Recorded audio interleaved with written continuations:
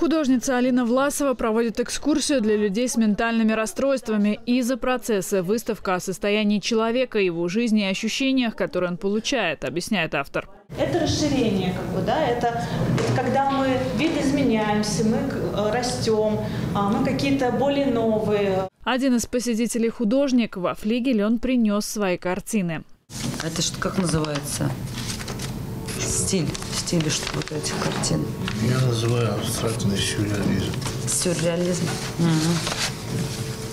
Свои картины Владимир Шибаев подписывает псевдонимом Аварра. Это слово означает «путник», объясняет художник. Именно так он ощущает себя в этом мире. Мужчина рисует с тех пор, как себя помнит. Сейчас его рабочая мастерская находится за письменным столом в общей комнате на пять человек. У меня один стол, стул, ну и угол, соответственно.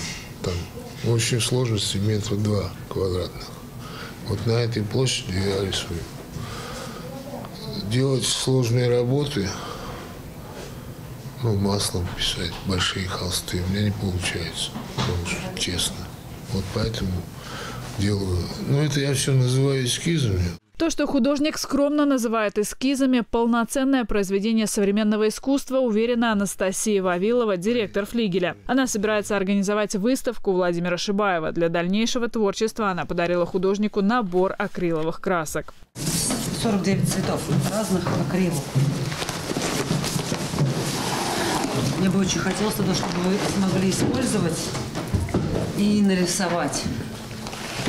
Вот, мне, мне кажется, она должна вам помочь. Сотрудники психоневрологического интерната рассказывают, пациенты регулярно посещают выставки и концерты. Искусство помогает таким людям выразить свои эмоции. Мы посещаем все выставки, они у нас всегда в первых рядах, нас с удовольствием везде встречают. Они, они очень много знают об искусстве. У нас в кабинете есть и книги о творчестве, им я учу их рисовать, и акварелью, и гуашью, есть у нас масляные краски. То есть у нас возможностей очень много.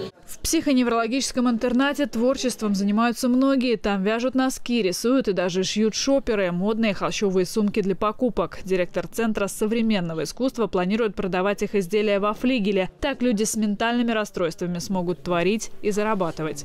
Я попробую ну, какой-то сделать отдельный стенд, отдельное место для них, рассказ, рассказывать, а, и, может быть, кому-то станет нужно, интересно. То есть не просто купить себе носочки, но у них будет какая-то хорошая, полезная история у этих носочков, что эти деньги пойдут ну, вот этим вот ребятам, они дальше могут покупать нитки, дальше будут вязать и дальше будут заняты делом. Этот визит – начало дружбы между интернатом и флигелем, и совместных планов теперь много.